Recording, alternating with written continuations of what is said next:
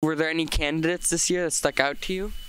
Um, Becca Balint, uh, Peter Welch, I'm a fan of. Um, I think for governor, it's a little tricky. Um, it's a seems like a complicated one for me. Um, I liked Becca Balint. Um, I liked Sarah George. Uh, she was running unopposed today, but I liked her in the primary. So those are those are two candidates that stuck out to me.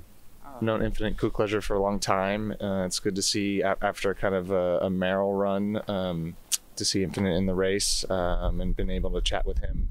Um, and then, sadly, like a lot of people, it's it's really hard to. and I- And I hate to say that because it's it's my civic duty to, to look into this, but it's, I think it's really hard to pay attention to everyone and um, make sure that you're well informed. Um, so it's very easy to vote party lines. Yeah. Um, but it's an interesting mix here in Burlington to decide, you know, um, between Dems and progressives.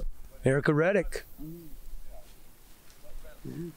And, uh, you know, Deploy Malloy, he stood out, new person. And there's a couple other new candidates that have stood out. You can pronounce their names very well, but Erica Reddick, I've been with her and volunteering for her, and uh, she's an excellent person, human being, and she'd serve all of Vermonters very well. Oh, it's tough to keep up with them all. I'm really just looking at the independent Democrat and Republican mix and voting that way.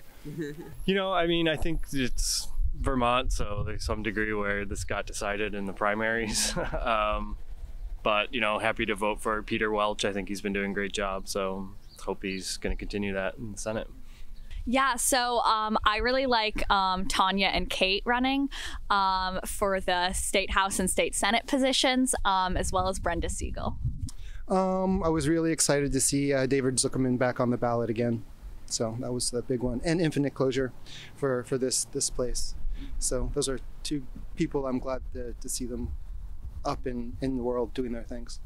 Um, I'm really excited about um, being able to vote for both Tanya Vyhovsky and In- Infinite Culcleasure. Um, I know the new Senate district thing just happened, and now I guess I'm in 17 rather than whatever I was in in the past. But um, those are two people that I've I've worked with extensively on different activist stuff, and um, I feel like those are people who are actually trying people who are trying to represent us and not just become these career politicians. These are people who are like really engaged in their communities. And I know that sounds really corny, but these are people who will like actually fight for you, and I've seen them fight for people. So